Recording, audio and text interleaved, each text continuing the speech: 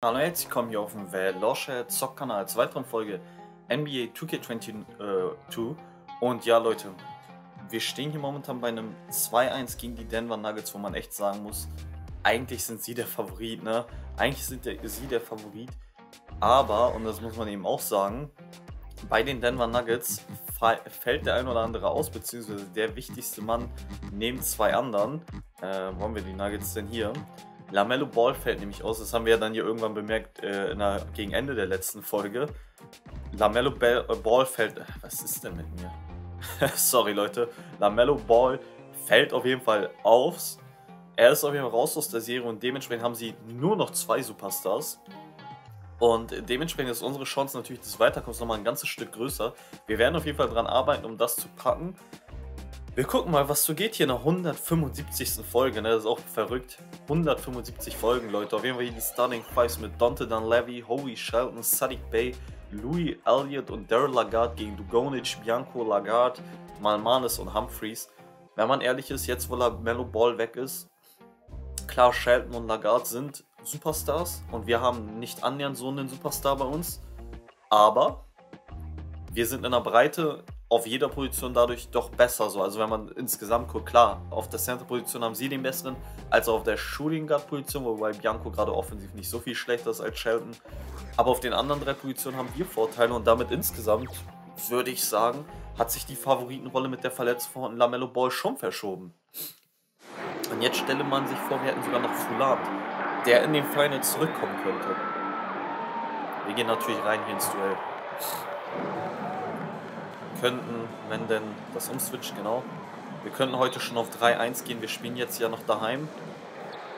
Wir könnten hier auf ein 3-1 gehen und damit riesen, riesen Schritte Richtung NBA Finals machen. Das wäre schon überraschend. Gegen ganz fitte Denver Nuggets muss man ganz ehrlich sein, wäre das schon noch schwieriger geworden. Ah, Lagarde macht den. Daryl Lagarde. Nase juckt mal wieder, ihr wisst, Pollenallergie ist immer mit am Start. Begleitet mich jeden Sommer. Jetzt hier Chevron Lagarde. Ah, den hätte ich selber abschließen müssen eigentlich, ne? Dann halt so. Dann halt so, ne? Ohne Gnade. Es gab ja schon in der letzten Folge das Brüderduell. Ist schon immer interessant, wenn auch wirklich Brüder gegeneinander antreten, ne? War schön. Chris Lagarde gibt es ja auch noch bei den Clippers. Ah, Lagarde. Ah, den macht er nicht rein. Bianco, schade. Trotzdem gut angespielt gehabt von Lagarde. Sadiq Bey jetzt hier Lagarde. Gegen Bianco natürlich mega Mismatch. Kannst du nichts machen, ne? Gegen eine Daryl Lagarde kannst du da nicht viel machen. Dugonic. Gonic. Er ist der Fake, schön gemacht. Schön gemacht von Dugonic. Powert sich so ein bisschen in die Zone gegen seinen Gegenspieler, ne? Fake dann, der geht hoch und dann kann er in Ruhe abschließen. Howie Shelton. Bianco gegen Sadiq Bey ist natürlich ein Mismatch, bei dem Malmanes einfach mal aushilft. Das war stark gemacht von Malmanes. Jetzt hier Lagarde. Ja, den Wurf wollte er nicht nehmen. Jetzt hat er Malmanes gegen sich. Ja, der war super high contested. Das macht Malmanes immer wieder gut. Lagarde. Bianco. Ah, Bianco. Gornic hat den freien Wurf. Macht ihn rein. War sogar gut contested, ne? Aber Dugonic macht seine Dinger. Ist ja eh ein sehr zuverlässiger Spieler, ne? Ist halt kein Star oder so, aber ist der perfekte Roleplayer. Kann auch ohne Probleme der Starting Point Guard sein. In einem guten Team. Gerade seine Defense ist natürlich super offensiv, gibt er dir auch ein bisschen was. Oh, starker Block. Und der nächste Block. Und der nächste Block. Nein. Ah, und jetzt Dugonic. Ah, schade. Den musst du eigentlich machen. So komplett frei, so viel Zeit. Howie Shelton, Lagarde ist da, ne? Und jetzt Humphreys gegen Daryl, das gefällt mir eigentlich nicht, ne?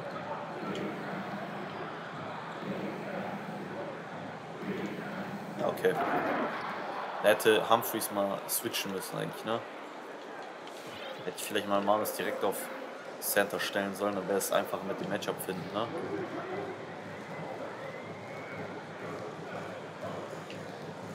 Ah, Humphreys. Pick and Roll klappt nicht so ganz.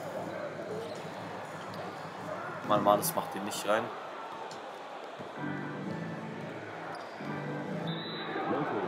Erstes Foul in diesem Game ne, von Humphreys. Dann sehen wir nochmal den Humphreys-Block. Man muss auch echt sagen, das ist ein bisschen seine Serie, ne? Ich finde, Humphreys macht einen richtig guten Job. Er ist kein überragender Spieler. Er hat seine Fähigkeiten und die, boah, 8 zu 7 hier für die Nuggets, stark gemacht von Shelton. Aber die Fähigkeiten, die Humphreys hat, die kann er in dieser Serie bisher sehr, sehr gut zeigen, wie ich finde.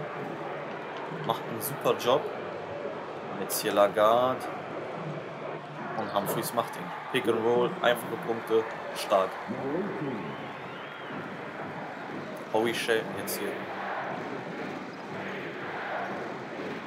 Oh, Shelton gibt den nochmal ab. Der Dreier von Elliott ist nicht drin.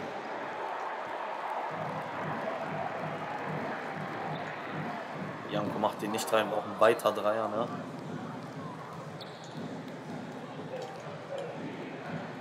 Dann Levy, jetzt hier Shelton. Howie Shelton, Lagarde, super Defense. Hat er ihn überhaupt keinen Platz gelassen. Und der nächste Block von Humphreys. Stark. Das ist seine Serie. Es ist Humphreys seine Serie. Der hat hier überhaupt keinen Bock drauf, dass hier jemand Buckets macht, wenn er in der Nähe ist. Wenn er da ist, blockt er alles weg. Boah, stark von Dugonic, wie er da dran war. Und dann der Block von Malmanis. Es ist hier ein Blockfestival. LeBron James, ja, guckt relativ rein, aber kann, was die Rim Protection oder allgemein die Defense momentan angeht, extrem zufrieden sein. Die beiden Bigmans, Malmanis und Humphreys, blocken alles weg. Malmanis schon mit drei Blocks, Humphreys hat auch schon zwei Blocks, also es läuft überragend, was das Thema angeht. Und jetzt hier Dugonic, macht ihn einfach rein. Hat überhaupt keine Angst vor Lagarde, ne? Keine Angst vor Daryl Lagarde. Denkt sich einfach nur, ey, come on. Und das war auch wieder gut verteidigt von Malmanis. Es läuft.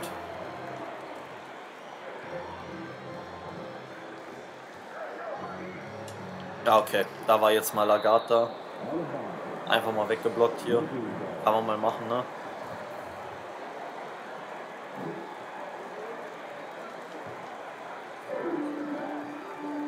Oh, Sadiq Bey kommt da gar nicht hinterher. Macht ihn rein, mal mal starker Midranger. 13-8. Man merkt einfach, dass Lamello Ball fehlt, ne? Das ist halt auch ihr Playmaker, ne? Er ist ja nicht einfach nur der Superstar auf der Point Guard sondern ihr Playmaker defensiv nochmal ein ganz anderes Ding. Dadurch werden auch die drei Schützen viel gefährlicher, wenn Lamello sie einsetzen kann. Bei den Nuggets bricht da schon einiges weg. Howie Shelton trifft einen ganz, ganz weiten Drei. Was natürlich nicht heißt, dass die Nuggets irgendwie wehrlos sind, auf gar keinen Fall. Aber Lamello Ball tut weh. Es tut weh, dass er fehlt. Big and Roll. Malmanes. Geht nicht rein. Humphreys ist da. Wirft den fast. Ja, nicht nur fast, hat den weggeworfen. Konnte Bianco unmöglich kontrollieren. Gornic gegen Howie Shelton. Boah, da hat er Größennachteil, aber das interessiert einen Dugonic nicht, denn der holt sich den Stil trotzdem. Janko ja, Lagarde war dann eine Zeit lang frei. Okay, das war, das war doof. Ich dachte, Dings wird ein bisschen anders laufen, aber hätte ich warten müssen. Der 3 ist nicht drin. Lagarde zerstört. Da kommt ein Sadiq Bay nicht hinterher. Und wir nutzen die Timeout, um mal selber in die Simulation zu gehen. Wir gucken mal. Okay, die Nuggets bleiben auf jeden Fall dran, ne? Ich würde gerne Richtung letztes Viertel schon gehen. Wenn es denn eng bleibt und es bleibt eng, das gefällt mir. Wir spielen hier mal, uh, 10 Punkte Abstand, okay. Spielen wir fast das komplette letzte Viertel. Schauen mal. Wir sind 10 Punkte hinten, Leute, ne? 10 Punkte hinten ist schon viel, aber das kann man aufholen.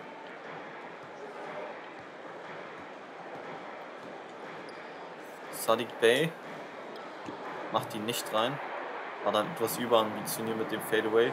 Jetzt hat er eben keine Chance, hier Lagarde aufzuhalten. Der ist, der ist ihn einfach athletisch sowas von überlegen. Ne?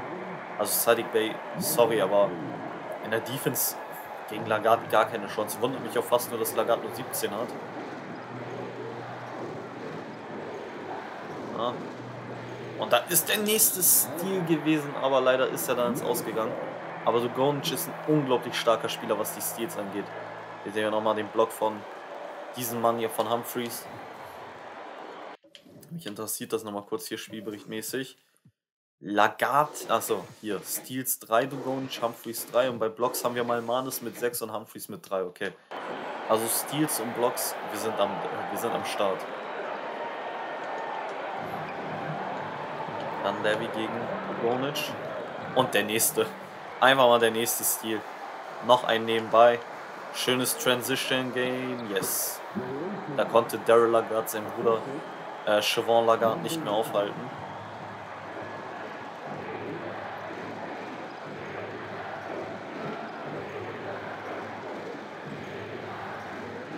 Sadiq Bay. Hm. Langsmith Fouling, okay.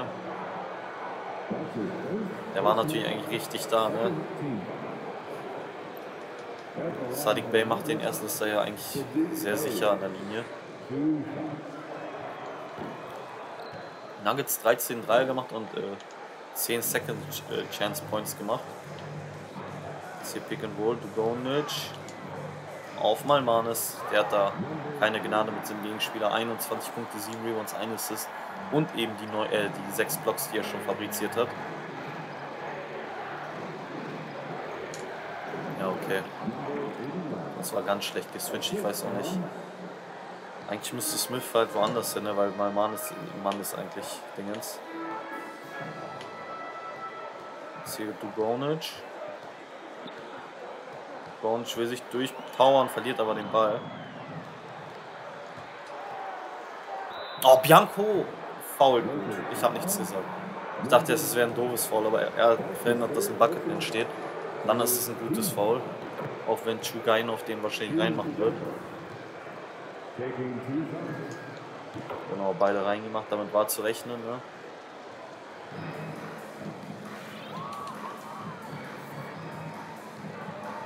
Dubonic jetzt hier. Das war gut um den Screen jeweils immer gekommen. Ne? Oh, weggeblockt. Weggeblockt von Lagarde. Weggeblockt von Lagarde.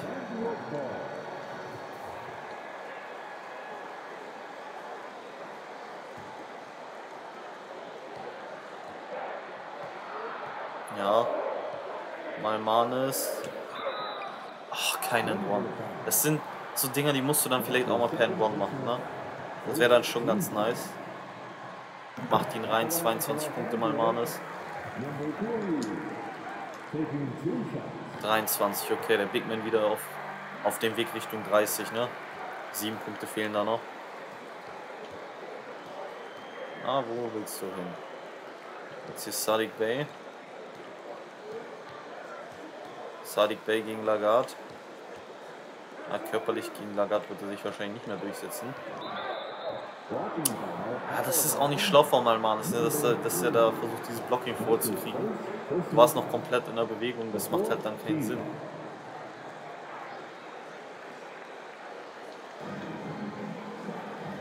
Dann Levy nimmt den aus der Bewegung, aber der war nicht drin. Lagarde.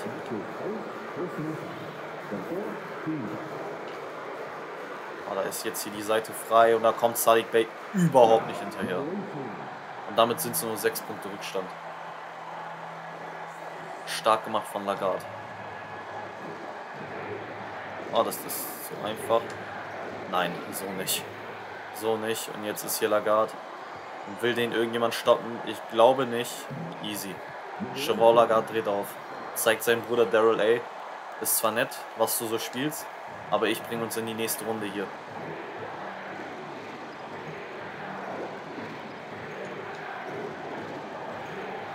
Janko gegen Chugainov. Der den reinmacht, gut gemacht. Bisschen Platz bekommen, Midranger reingemacht. Kann man mal so machen, ne?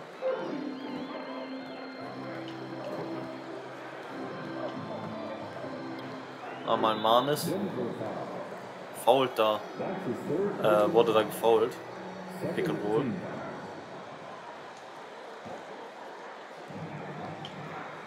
So, mein Manis, lass dich doch nicht da aufhalten. Was sollst du hinkriegen jetzt hier?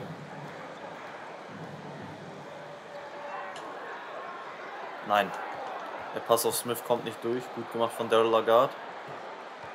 Oh, du Gonic, fast der nächste Stil. Dann, oh, sie sind schon im Bonus. Sie sind bei 7 Minuten 24 schon im Bonus. Wow. Schade, dass äh, Gonic sein Stil nicht durchging, ne? Und damit sind es wieder 8 Punkte. Also die Nuggets, die leben. Die Nuggets, die leben. Stark. Smith du hättest eigentlich durchgehen müssen.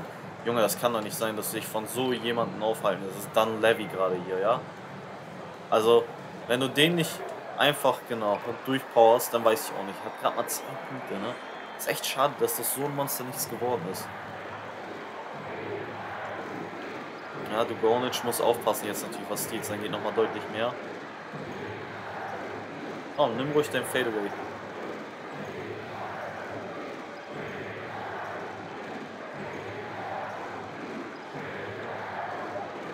Ja, bin ich leider zu früh hoch, 101 zu 93.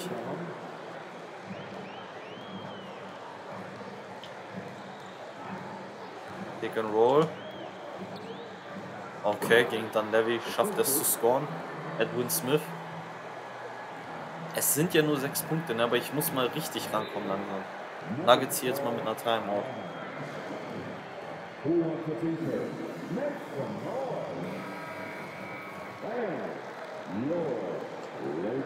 Fehlt irgendjemand? Humphreys hat 5, okay, ne, fehlt niemand. Ich habe irgendwie das Gefühl, irgendjemand fehlt. Kainov, das geht so einfach eigentlich, aber Dublonic war da. Der aber jetzt sein viertes kassiert, ne? Da muss man aufpassen.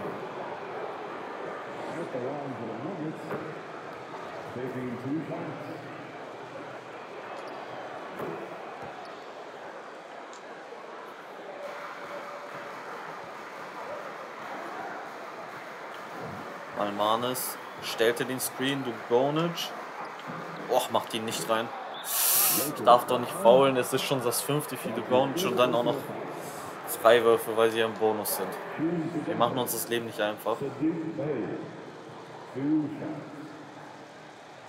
Ja, gucken wir mal, Sadiq Bay macht ihn rein. sind gleich wieder 10 Punkte. Ne? Also die Nuggets mit den 10 Punkte Vorsprung, denen sie in dieses Viertel gegangen sind, den halten sie so ein bisschen. Komm schon, nein. Aber Lagarde war am Start. Aber Lagarde war am Start.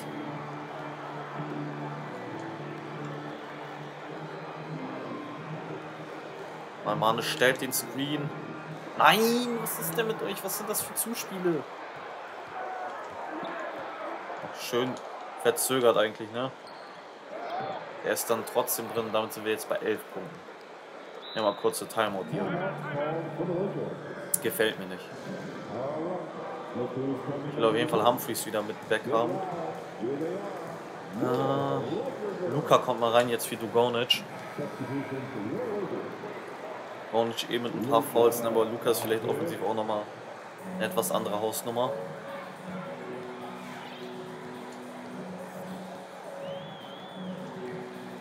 So, jetzt hier Janko. Foul. Drittes Foul von Daryl Lagarde.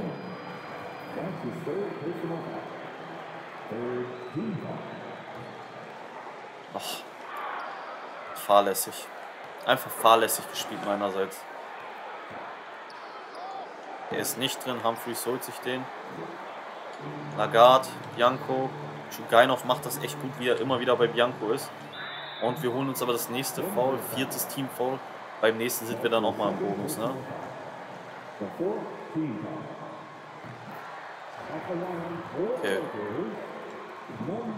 15 Punkte jetzt hier für Bianco. Nicht schlecht mal wieder. Chugainov.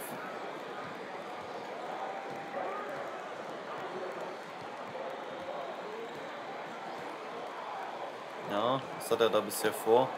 Bianco bleibt dran. Aber ne, ist gut, gut gemacht von Schugainov. Viel Zeit runtergekriegt, ruhig gespielt, Lösung gesucht, Lösung gefunden. Und bei uns heißt die Lösung einfach Dar äh, Siobhan Lagarde. Den werden wir jetzt einfach öfter suchen. Immer wieder gegen Sadiq Bay, bis sie anfangen, ihn zu doppeln. Und wenn sie das machen, müssen wir die Dreier treffen.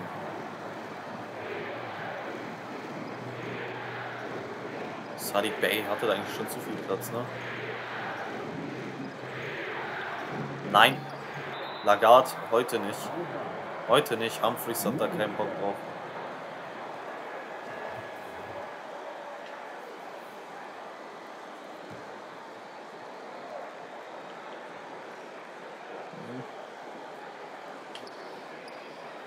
Macht ihn nicht rein. Das war eigentlich schon gefährlich, ihn diesen offenen Dreier zu geben, ne? Muss man auch ganz ehrlich sagen.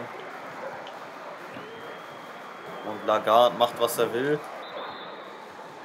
Blocking vor, ich wollte gerade sagen. Ich war gerade gespannt, ob es nicht Offensives gibt. Lagarde macht den 26 Punkte. 27 stark. Wir sind wieder an 7 dran. Dann Levy. Lagarde. Ja, den 3 würde ich dir schon eher geben. Will er nicht nehmen. Da wurde er gedoppelt. Jetzt ist Sadiq Bey. Kann den, macht ihn nicht. Macht ihn nicht. Und jetzt ist da Chavon Lagarde. Nochmal auf Bianco. Und der macht den rein. Wichtig. Fünf Punkte nur noch.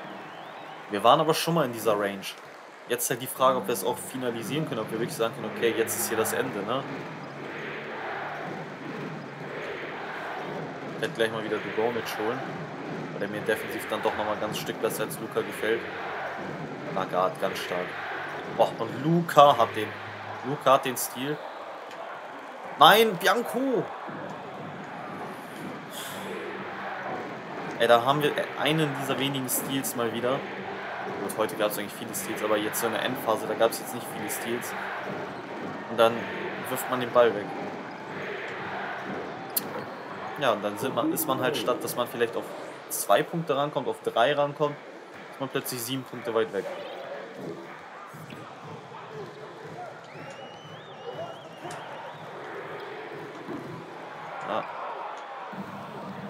Wenn sie es jetzt nutzen, ist man gleich auf 10 Punkte weit weg. Nein, ich gehe zu früh hoch, ja. Das sind 9 Punkte. Das sind 9 Punkte.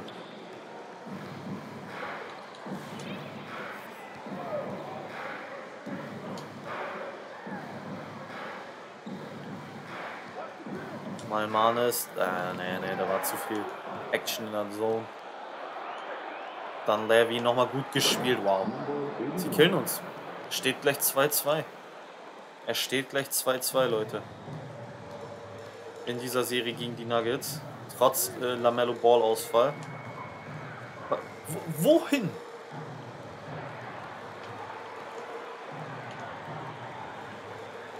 Daryl Lagarde jetzt hier. Komm schon mal, du musst zerstören. Macht er auch. Stark gemacht. Jetzt haben wir noch zwei Minuten knapp Zeit. Die neun Punkte. Wir sind wieder auf dem gleichen Stand, wie wir schon 15 Mal waren, gefühlt hier in der Endphase. Ja, und das geht dann zu einfach. Das geht dann zu einfach. Gehen wir über Chavon.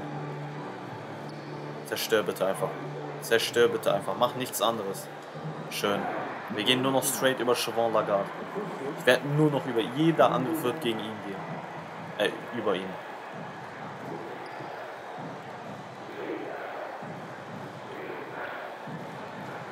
Boah, der Ball landet dann trotzdem wieder bei ihm. Sie holen sich halt immer wieder diese Second Chance Points.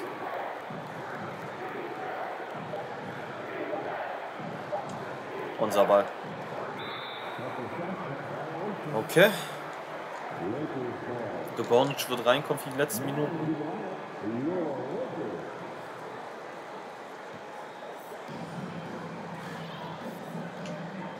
Will einfach nur sehen, wie du ihn zerstörst. Wird gefault, immerhin so, dann halt per Foul. Per Freiwürfe. Die macht er dann hoffentlich. Wir dürfen auch nichts anderes mehr machen, ne? Wir müssen schnelle Angriffe über Siobhan Lagarde. Irgendwann doppeln sie schon. Und dann wird's witzig. Bianco bleibt dran, Bianco bleibt dran, stark von Bianco. Dann Levy. Darf nicht faulen, ne? Sadiq Bey. Chavon Lagarde wird heute dein Albtraum. Unser Ball. Chavon Lagarde. Chavon Lagarde. Okay, wir sind an 5 Punkte dran. Wir sind an 5 Punkte dran. Chavon Lagarde im Alleingang. Wir brauchen einen weiteren Stop, das ist logisch. Die Stops sind jetzt so unser Grundstein und Lagarde ist das, worauf wir dann weiter aufbauen. Sadiq Bey, der wird natürlich versuchen, Zeit runterzuspielen. Genauso wie Dugonic. Schnell, sie können die. Sie haben die Zeit auf ihrer Seite. Schwierig. Dugonic bleibt dran. Dugonic bleibt dran, Malman ist auch. Ja, bringt ja nichts. Das Foul war unnötig.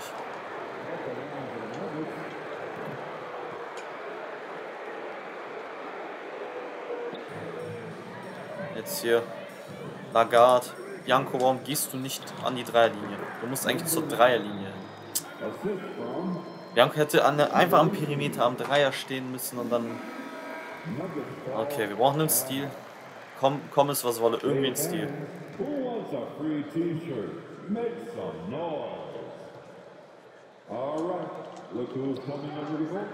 Ah, gut. Also war das Foul hier. Sadiq Bey macht ihn. Ja, wenn er beide reinmacht, sind sieben Punkte, dann ist es auch durch. Dann brauchen wir nichts mehr versuchen. Da brauchen eigentlich nichts mehr versuchen, ne? Wenn ehrlich ist. Na gut, so sowieso nicht. Ja. Spiel ist durch. 123, 114. Halagat, gutes Overall-Game. Malman ist nicht schlecht, ne? Gonic immer in 4 Steals, 7 Blocks von Malmanis. Chugainov war hier auf jeden Fall der Game-Changer, muss man sagen, ne? Wir gehen jetzt mal zwei Spiele in der Simulation. Ich will wissen, ob es ein 3-3 gibt oder ob jemand weiterkommt. Ich will auf jeden Fall hier... Grenier ist verletzt, okay? Fällt die komplette Saison jetzt aus. Das heißt, Grenier... Ähm... Okay, die paar Smallford-Minuten kann man auch Luca eigentlich geben, ne? Wobei das jetzt hier doof ist, weil er hier nicht agiert als Smallford. Aber die paar Smallford kann Luca kriegen. Dann kriegt hier eben die Shooting Guard Minuten wiederum Bianco. Und dann ist er dafür hier ein bisschen draußen, dann kann Luca da halt durchspielen so. Luca echt eine lange, lange Zeit, wo er auf dem Feld steht. Ähm, wobei er dann hier Anfang drittes Viertel reinkommt. Äh, dann haben wir hier noch die Small Forward Minuten nochmal. Das darf dann Luca wieder machen. Und hier dann auch nochmal Luca, ne? Würde ich einfach sagen. Dann kriegt Bianco seine paar Minuten Pause.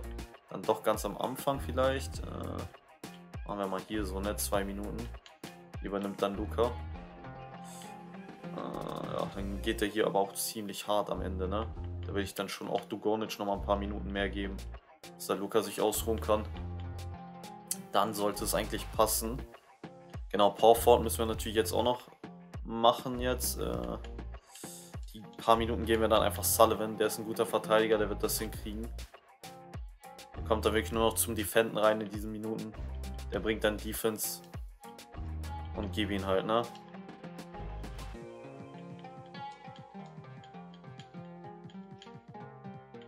Ja gut, gut, dass ich ihn nicht hier auf Reserve packen muss, weil sonst wäre jetzt alles hinfällig. So, sehr schön. Jetzt war das aber wahrscheinlich viel global, kann das sein? Nehmen wir das mal, gehen wir zu den Nuggets rüber, ne, damit das auch schön übernommen wird.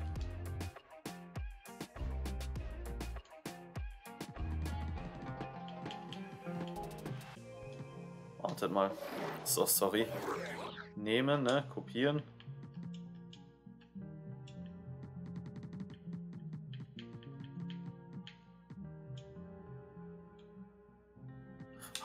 schon, ey, komm. Passt schon. Gehen in die Summe. Wir gucken mal. Wir gucken mal. Wenn es ein Game 7 gibt, dann sollen sie es jetzt erzwingen.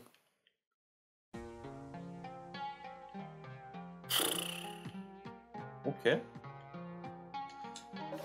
Okay. Die mich verarschen, Alter. Ah, das ist manchmal so nervig mit diesen Taktiken, ne? Das hier ist, ja, super. Was ist das für eine Scheißrotation? Bonic, Bianco, ja gut. Dann muss ich das hier nochmal einstellen. Ist das nervig, ey. Manchmal nervt das, wenn eine Verletzung da ist, dann, dann kommt immer gleich alles durcheinander. Also Osa, du fliegst auch raus. Weg mit dir. So. Bianco 42. Ich mach das jetzt mal kurz so. Wir werden da jetzt vielleicht nur reingehen. Am Sullivan und Smith hat gar keine Minuten mehr.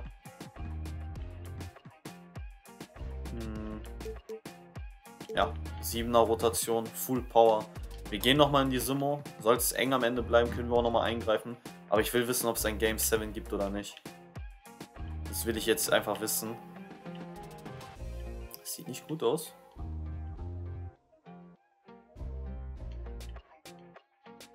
Mich verarschen, Jungs. Kommt schon. Boah. Nee, das sieht nicht gut aus. Ne?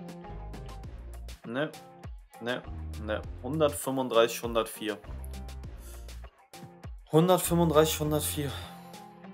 Malmanis 33 Punkte, 17 Rebounds, 3 Assists, 3 Blocks. Dugonic mit 20. Doncic und Co. Lagarde trotz 16. Aber die Denver Nuggets waren dann doch zu stark für unsere Leute. Das bedeutet, es war so nicht geplant. Ich hätte gerne ein Game 7 gehabt. Das bedeutet, und das war klar, jede Playoff-Runde kann die letzte Folge sein. Das hier ist jetzt tatsächlich die letzte reguläre Folge der Lakers-Franchise. Wir haben es in Game 2, wo wir auf 3-1 hätten hochgehen können, leider nicht geschafft. Und das war dann so ein bisschen der Grundstein, dass wir hier rausgeflogen sind. Es ist die letzte Folge damit, regulär. Es wird morgen noch eine Folge geben, wo ich dann simuliere weiter vor bis ins Jahr 2041. Dann machen wir so eine Special-Folge, wie die NBA aussieht. Und danach werde ich noch ein Wunschvideo machen, also was wünsche ich mir für 2K23, weil danach kommt schon bald Formel 1. Aber die Ära ist vorbei. Cleveland, Clippers, Lakers. Es hat Spaß gemacht. Wir gucken natürlich noch, wer hier Finals MVP und Co. wird. Also, ja, nicht bis Spielende, Runde simulieren. Und es sind die Nuggets. Wir sind an dem Meister gescheitert. Wir sind an dem Back-to-Back-Champ gescheitert. Daryl Lagarde mit 24,5 Punkten, 14,3 Rebounds, 5,7 Assists, 1,5 Steals und 2,2 Blocks. Hat sich den Finals MVP geholt, Leute. Und ja, ich will einfach nur sagen, fetten, fetten Dank für die ganze Unterstützung. Fetten Dank, dass ihr 175 Folgen mit dabei wart. Einfach der Wahnsinn. Wir sehen uns morgen zur Special-Folge. Die, werden, äh, die werde ich auf jeden Fall hochladen. Dann gucken wir, wie die NBA sich entwickelt hat und Co. Ich manage natürlich in der Zeit noch die Lakers. Guck mal, was ich da noch machen kann. Werde da natürlich jetzt nicht mehr spielen. Einfach vorsimulieren, so ein bisschen managermäßig, gucken, was so geht. Krasse Serie, also wirklich krass lang. Wenn man überlegt, 2,36, wir haben 2,21 gestartet. 15 Saisons, Leute. Einfach nur crazy. Ich danke euch für den Support, danke, dass ihr mit dabei wart. Euer Valosche meldet sich ab und Bye bye.